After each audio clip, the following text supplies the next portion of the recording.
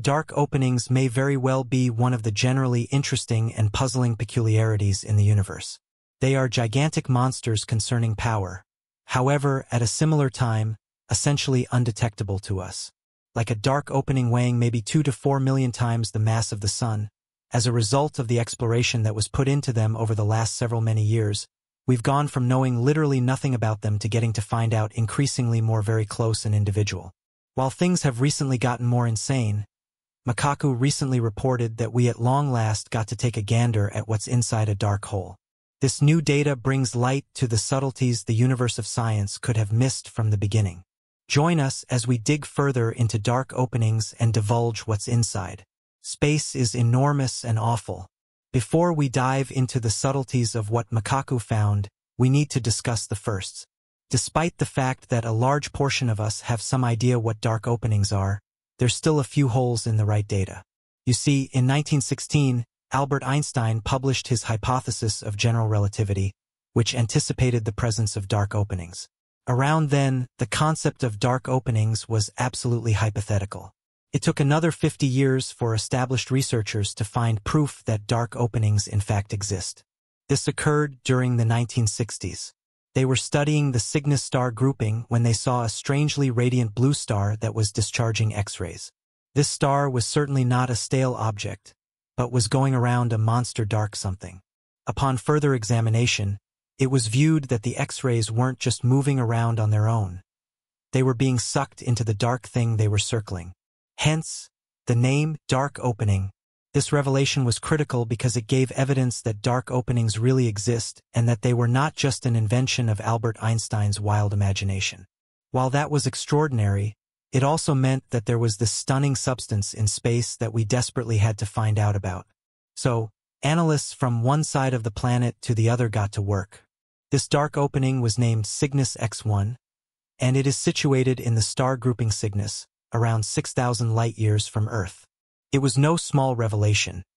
It's multiple times more brilliant than the sun and inconceivably thick, which makes it have a strong gravitational draw.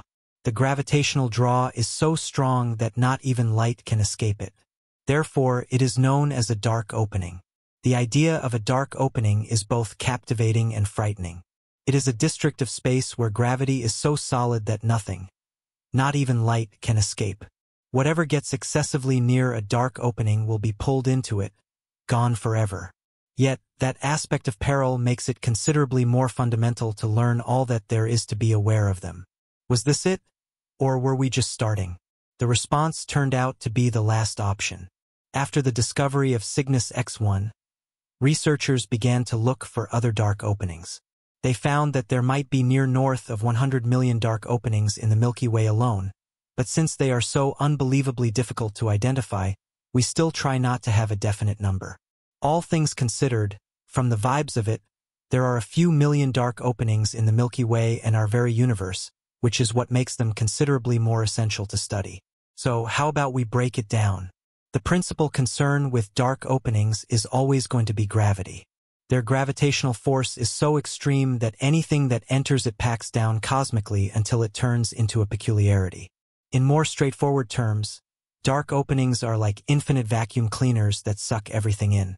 One of the most alarming parts about the examination that has gone into dark openings is the reality that if somebody somehow happened to fall into one, they would come to the point where they become a solitary line.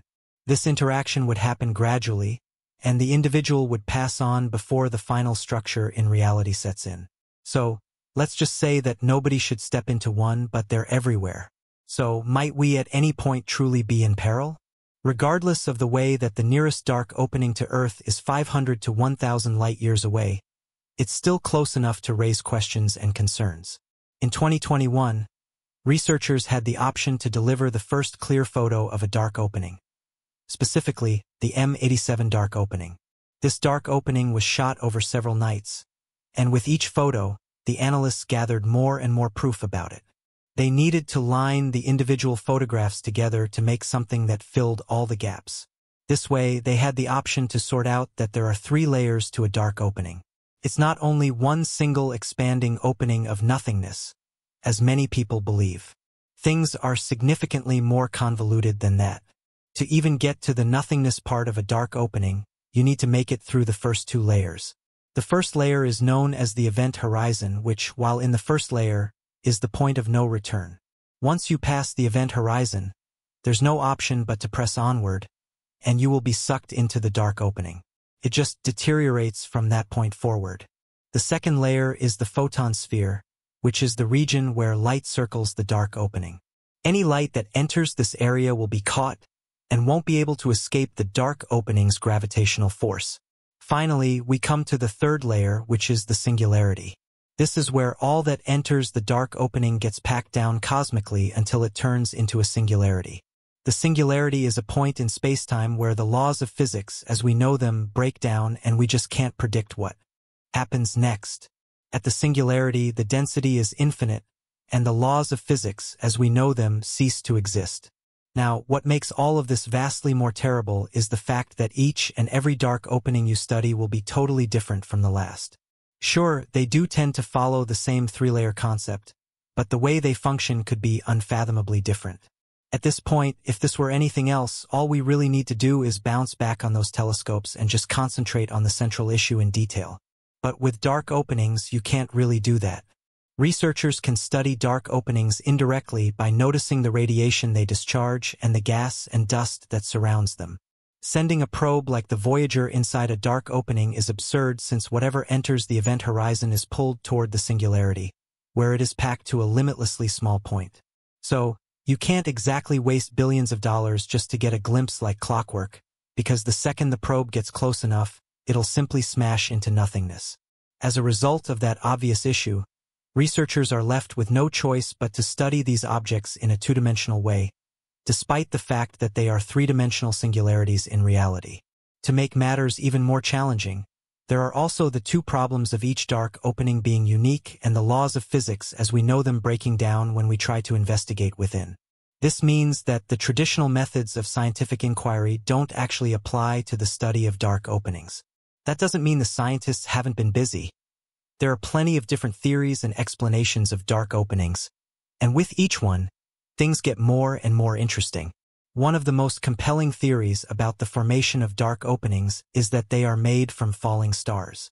When a star all depletes its fuel, it can no longer produce sufficient energy to balance the power of gravity that is constantly pulling inward. Therefore, the star begins to fall in on itself, shrinking and becoming denser. If the star is large enough, this process can continue until it turns into a singularity. To grasp the concept of dark openings top to bottom, NASA researchers turned their attention to the center of the galaxy, M87. Cosmologists noticed a strong whirlpool of very hot hydrogen gas that was spinning at a surprising pace of 1.2 million miles per hour. The sheer power of the spinning disk of gas should have caused it to fly apart in all directions, yet it didn't. Researchers found that there must be a huge mass aggregated at the center of the galaxy to keep this from happening. This massive object weighed as much as 2 to 3 billion suns and had to be a dark opening. But that doesn't seem to be the only theory where dark openings twist. In 1963, New Zealand mathematician Roy Kerr used Einstein's equations of gravity to give the best description of a spinning dark opening. He showed that a spinning dark opening wouldn't implode into a point as previously thought, but into a ring of fire or a thin disk. The disk would spin so quickly that radial forces would keep it from collapsing. This spinning disk of matter is known as the ergosphere, and it is the region surrounding the dark opening where the laws of physics begin to break down. However, the most interesting aspect of Kerr's solution was that it predicted the presence of an Einstein-Rosen bridge, also known as a wormhole. This hypothetical passage through spacetime could connect two separate regions of the universe or even two parallel universes.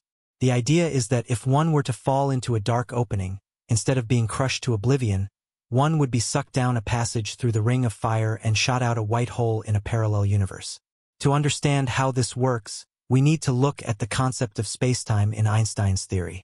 Spacetime is the fabric of the universe where objects with mass bend this fabric, creating a gravitational field that causes other objects to move toward them. Now imagine a piece of paper, representing spacetime. If you place two points on the paper and draw a line between them, this is a representation of how objects travel through spacetime. But what if you could fold the paper in half and create a shortcut between the two points? This is the basic idea behind a wormhole, a shortcut through space-time that connects two distant points in an instant. Wormholes aren't just a science fiction idea. They are actually a prediction of general relativity, although no one has ever observed one directly.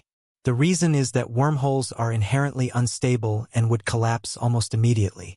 Yet the existence of an Einstein-Rosen bridge would mean that dark openings are not just enormous vacuum cleaners, but could also be gateways to different regions of spacetime. So, could we use a wormhole to travel through space and time? Unfortunately, the answer is probably no. Even if we could stabilize a wormhole, it's unlikely we could use it to travel faster than light. Einstein's theory of special relativity predicts that the speed of light is an absolute limit on how fast anything can travel through spacetime. However, even so, the theory of wormholes and dark openings as pathways to other parts of the universe or even to different times has been a subject of interest and speculation among physicists for a long time. The possibility that there may be shortcuts through the fabric of spacetime, allowing travel over vast distances or even into the past, could be revolutionary if we could ever achieve it. One of the most captivating ideas in this area of study is the Kerr wormhole, named after mathematician Roy Kerr, who first described it using Einstein's equations of gravity.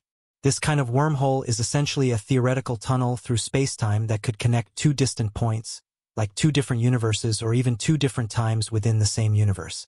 The Mutt wormhole is often pictured as a ring-shaped entrance, like the mirror in the story of Alice in Wonderland.